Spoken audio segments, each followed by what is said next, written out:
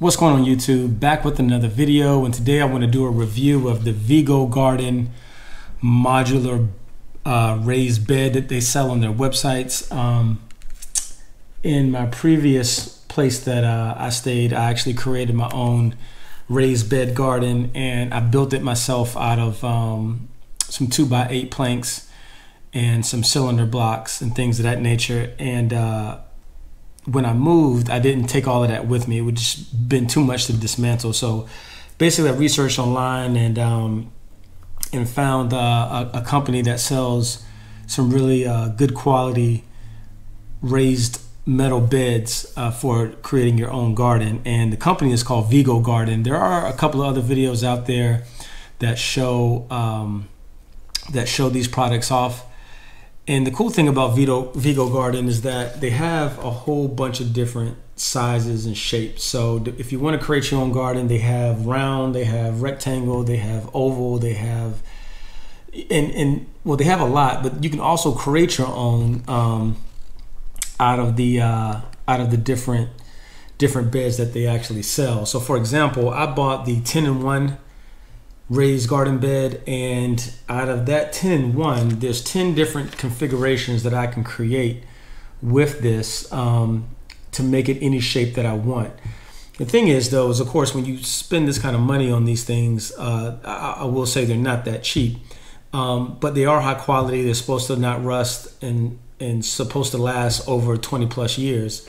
So uh, no chemicals and things like that in there. So um, that's something that I was kind of looking for. But you can see all of the configurations that you can actually create create with the 10 in 1 modular one. Now there's a 9 in 1, I think it's a 6 in 1 and there's there's other options out there, but the 10 in 1 you can create 10 different options. Um, and so with these configurations, depending on how much space you have in your backyard or your porch or your patio or whatever, that's going to pretty much determine which one you want to go with. So I could make this as large as I think the largest size is six by six, um, which actually ends up being I think 1.9 cubic yards or 51 cubic feet. But it take that would take up too much space in my backyard. My backyard isn't really that big. So I am going with the number one configuration, which is only 34 cubic feet but it still uses all the pieces, but it's actually like the longer version of the garden bed instead of the actual perfect square or rectangle or things of that nature. So um, that's the one that I'm going to build for you today. Now, I will say this. This thing takes more time to build than you would think. I thought that when I opened the box, okay, I could probably put this together in about 30 minutes. It probably took me for the first bed that I built about two hours. Um, but that's because I was messing up. I put the wrong sheets of, of metal together. I had to go back and undo it and then redo it. And I did that multiple times. I made a lot of mistakes, just careless mistakes when putting it together. But now that I've built my first one, I know what to look for. So this one should really only take me 30 minutes to actually build. And I'm going to show you something that's that's probably the biggest headache when you open these things, and that's this.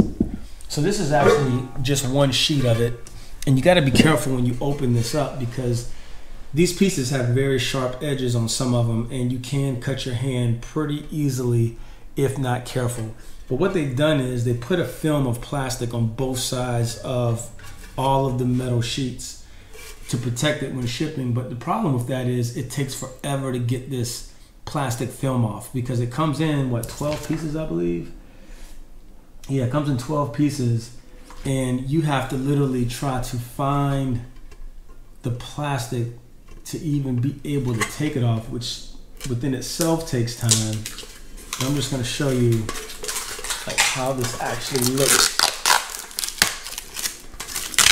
I mean, and it's stuck on tight, so it's it just takes a while to actually uh, peel this off.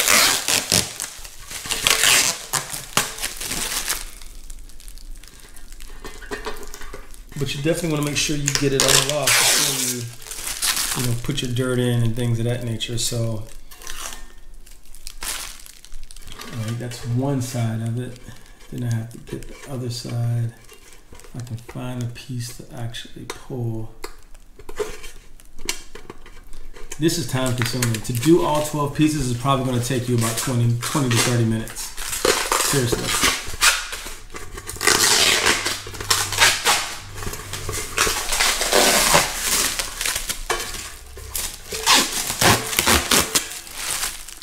Seems like they just could have came up with an easier way to package it. And then once you do the front and back, you have to do the sides. And the sides are tricky as well because they don't peel off always as easy as that one just did. But sometimes the sides can give you a headache as well.